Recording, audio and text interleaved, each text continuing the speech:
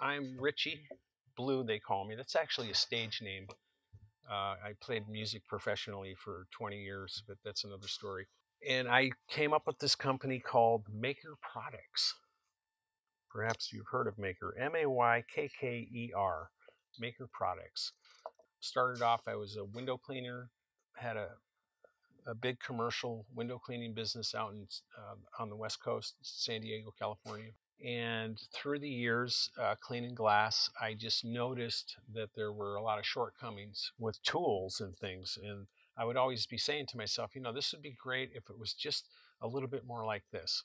Or, you know, what would really be nice is if they had something that did this. And this just kind of spawned my thinking uh, all the time when I was out cleaning glass.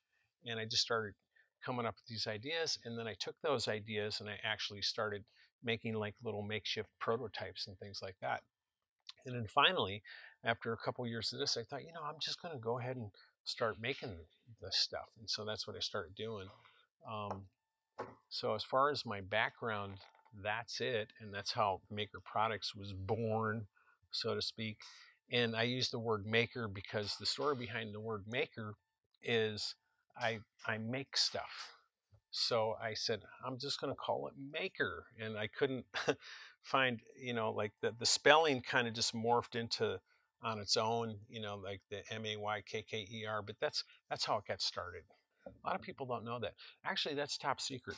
I don't think I should tell anybody, but it's too late. It's on camera. So now everybody knows.